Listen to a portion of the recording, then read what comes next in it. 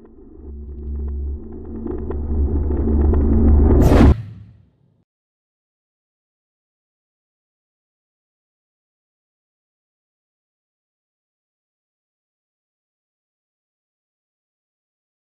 everybody, welcome back to another video. Uh, today we are on part two of the face mask video. Last time we designed and constructed the face mask and where we had left off is we had just painted it with primer. And so here we are with just solid primer. Today we're going to finish the paint job and we're going to put the leather straps on. So I want my mask to look uh, like it's made out of like it's industrial, made out of steel, uh, and well used. So some of it will be painted with color, and we'll we'll make it look like the paint is like chipping off or wearing out. Some of it will just be raw metal. Um, so the first thing is I think I'm going to just cover the whole thing with silver so we can start making it look like metal.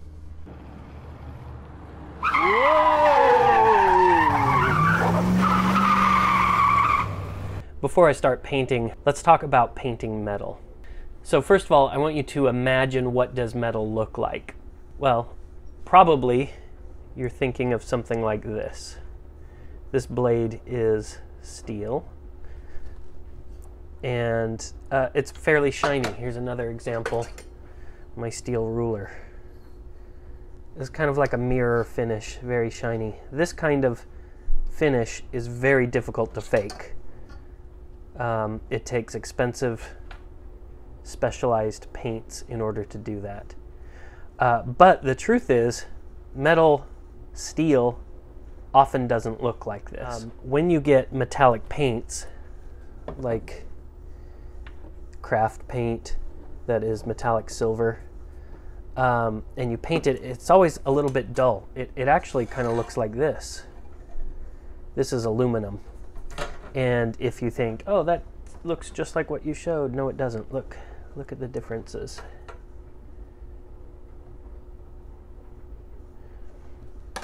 So when you use metallic paint, it often will just look like aluminum, and that's fine. But if you want it to look like good used steel, let's look at some and see what some characteristics are. So here's a piece of steel with some age on it. Um, first thing I want to show, let's see, I want to point out is that it's not shiny. Look, let's compare it to the shiny steel. Here's another, this is just regular welding steel. It's much darker, not nearly as shiny. Um, I don't know if you can see the color. I mean, it's very dark and it has kind of a splotchy texture to it. Look at there's areas here. There's a an older or a rustier version of steel. So this here's kind of the less rusty side. It's barely shiny except for in the scratches. It's really kind of chalky, dusty. That's what it looks like. But then here, if we look at the rust, spots of rust everywhere. And the rust itself, if we look at that, it's got different colors. The rust has this, I'm going to use this one to point. The rust has this kind of light orange color here. And then here there's very dark reddish brown. And it looks like it's surrounded by kind of a lighter, uh, more desaturated version of that brown. So it kind of looks like the inside is wet and the outside edges are dry. Okay, so now with that in mind, let's see how we can paint plastic to look like metal. I'm pretty sure you know what spray painting looks like, but I'll show you a little bit of the spray painting. I never know what's interesting to show, so I'm not going to show all of the spray painting, but I'll show you a little bit of me spray painting. Now I'm, I'm working in a ventilated area, so I know you can tell I'm indoors. Everything's fine.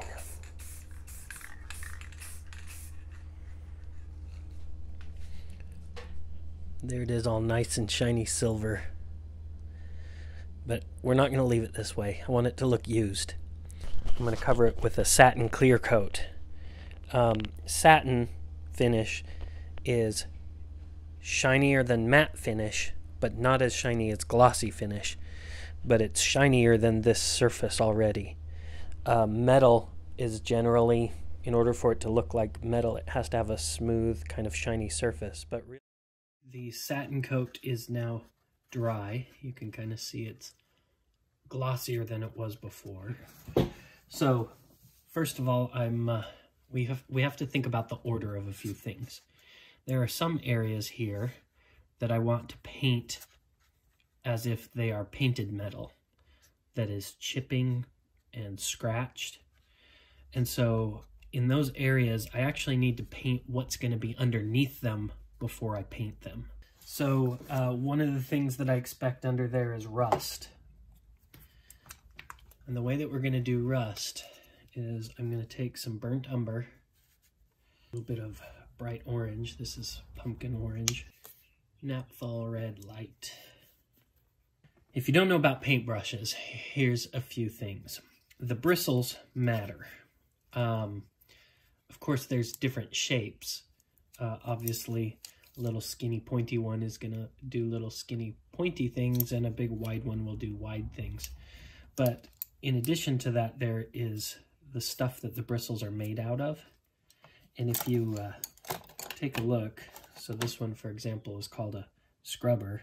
You can hear it. It's very rough.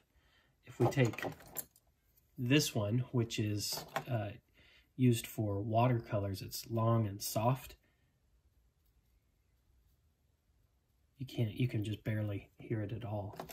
And so I have all these different ones with different amounts of hardness or roughness uh, or softness for different things. Now, chip brushes like this tend to have pretty stiff brushes or pretty stiff bristles. In addition to that, these are not quality brushes. These are cheap.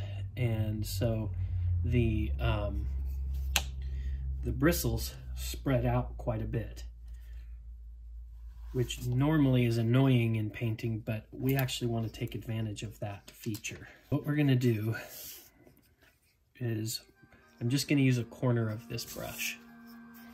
I'm going to kind of stamp it down into my brown and then I'm pushing it, kind of getting most of it off of the brush. And now when I come over here, I'm going to just press it down.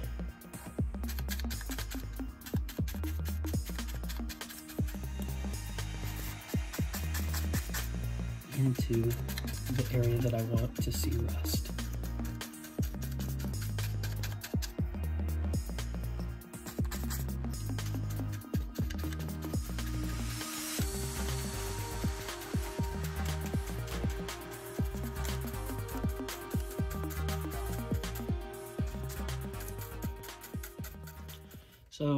Already looks like it's got quite a bit of rust on it, but rust is not just one color. So I'm going to now use the orange. I'm going to do the same thing, but with less. So, and then I'm going to put it down and kind of press it in. So this works best, and maybe I should have done it a little bit at a time, when you've still got wet brown you can kind of blend them in like this. But you can mix them on your palette as well. It's okay to leave some of it very bright orange, just little dots of it.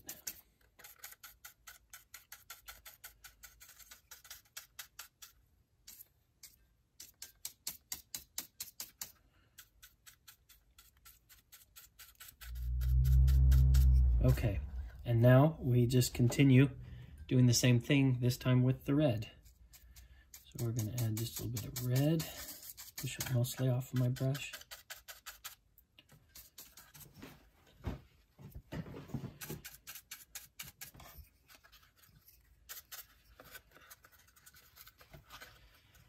All right, so if we were going for rusty metal alone, that would be really nice.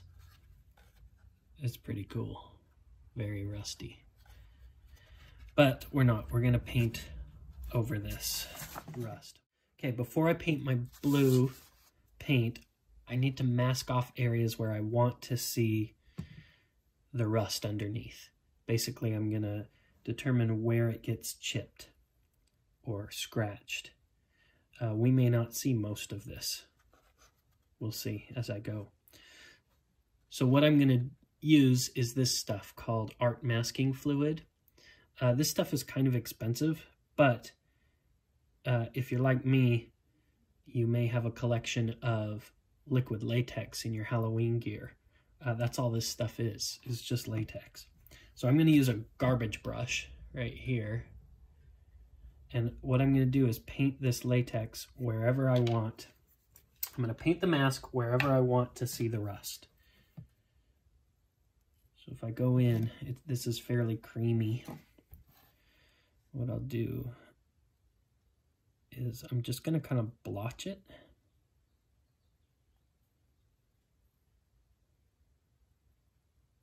So paint most likely is going to chip where it gets rubbed against, so it's going to be mostly along the edges.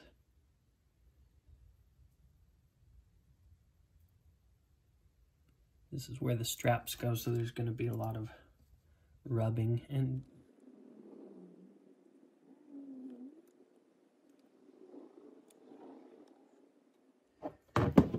Now acrylic paint dry, or dries extremely quickly, but to speed it up even faster, and also this latex, I'm using a blow dryer, just a regular home, just a regular home blow dryer.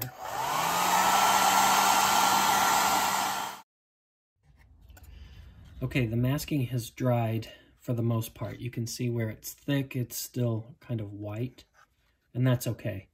Uh, the top of it, the outer covering is dry. And that's really all we need to do because we're going to paint over top of it now. So now it's time to add the blue paint.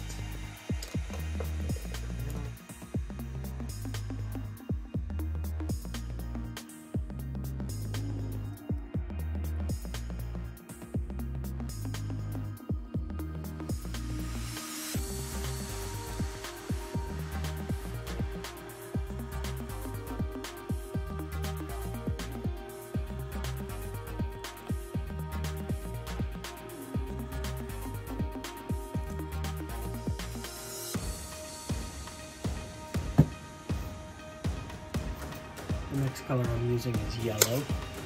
Uh, now, to if you want to get a nice, vibrant, bright yellow, you really have to paint white under underneath it first. So you do a layer of white, and then you do the yellow on top, and it'll be nice and beautiful.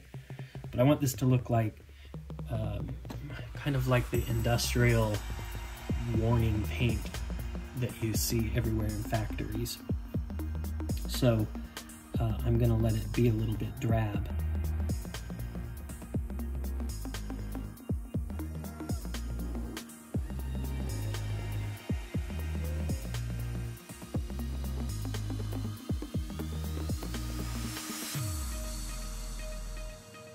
Okay, this yellow is still very blotchy, but I think I'm fine with that because the next step, we're gonna make it all look dirty um, and greasy.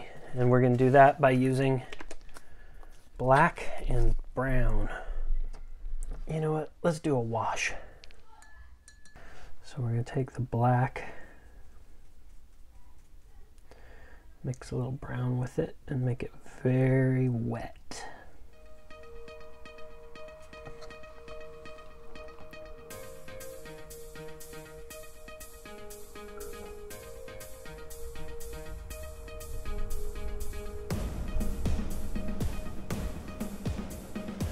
So washes are great for getting into the little cracks. So if we think about it, what we're thinking is where does the dirt and the grease hide? If we were to wipe this thing down, where would be the places where we wouldn't be able to clean it as well as good?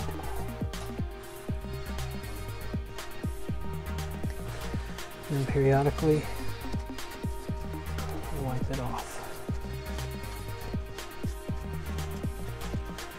Now I'm I've got to be gentle as I do this because I've still got that masking there and you can see here where I started to rub too hard and it started to take off the masking. You can see the rust underneath.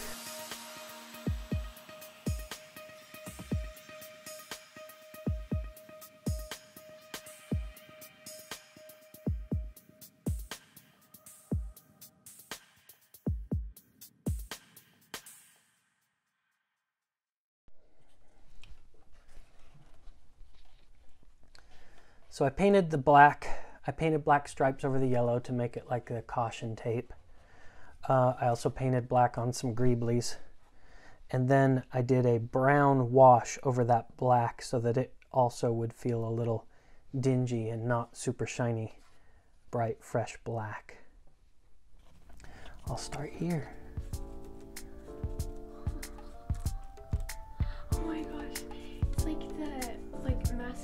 Stuff you get on for um, Halloween. Yeah, it is. It's the exact same stuff.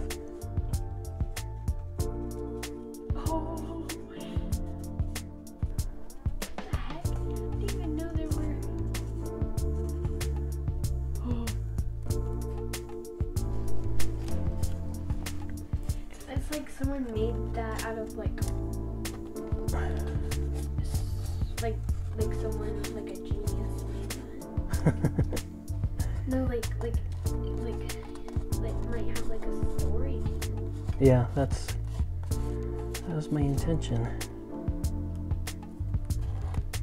Oh no, coronavirus came. People started breaking their cars and turning them into masks, finding any scraps. yeah, it's kind of post-apocalyptic, huh?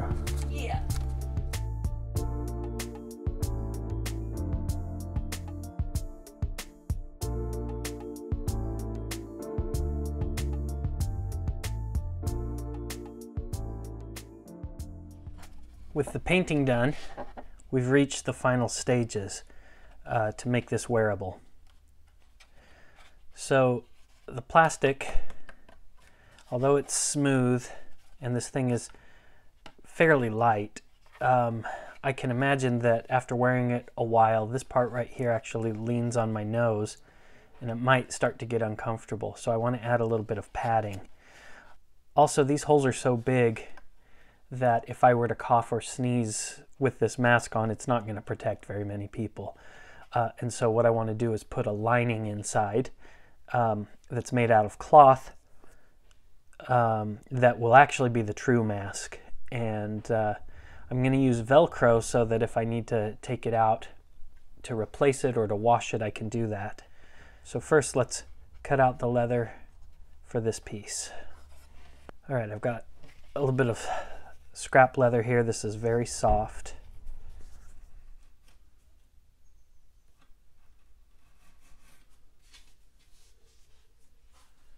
I'm going to glue this leather in with uh, with super glue. I'm going to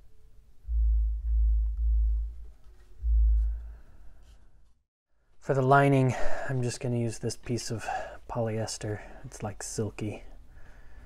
Just because I like the way it looks and it will be nice the black will look good against the back of this. Okay, and I've got some Velcro here that I can use to Velcro this in.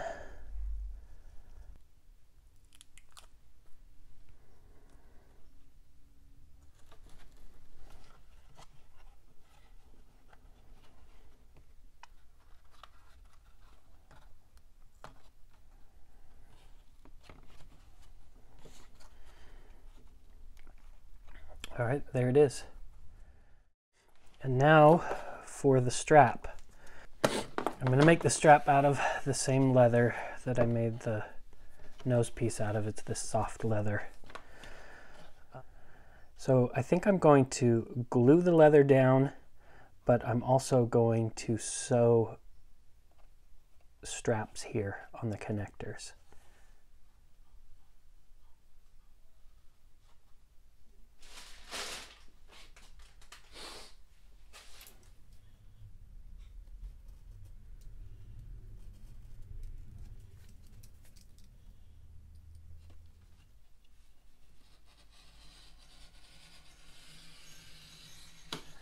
I've got about an inch of space here on the leather that I want to glue down to the mask just to kind of even out the strain.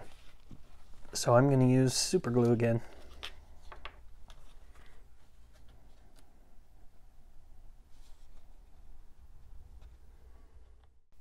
Before I do the other side, uh, I want to go ahead and sew the straps together. So what I need to do is cut a couple of straps that will fit inside those holes.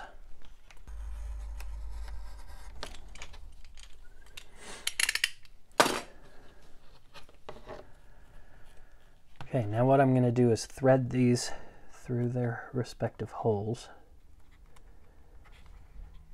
And we're going to fold it in half and we're going to sew them together like that. So I've got it folded over on this side. So I'm going to show you how we're going to sew this. Um, I have these tools. These are leather punches for sewing.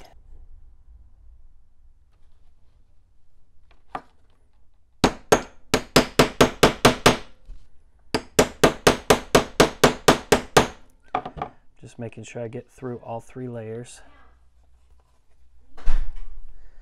Okay, I'm using this wax wax string that's used for leather working. And what I do is go through the holes. First I come through one side with the needle and then the other side of the string we go back down through the same hole.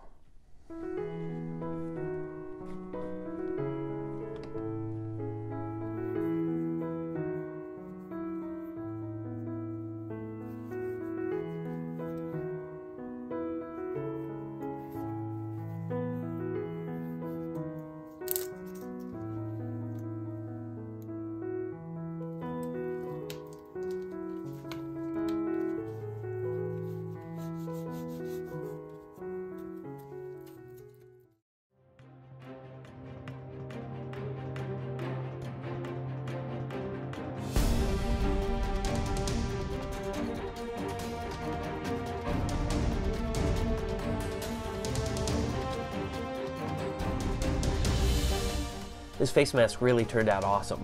I really like it. It looks so cool and it's very comfortable to wear. If you enjoyed the video, please leave a like. I really appreciate that. Uh, also subscribe if you want to see other videos like this in the future. Uh, leave a comment if you have any other ideas for other projects you'd like me to tackle. Until the next video, don't be bored, be creative. I'll catch you next time.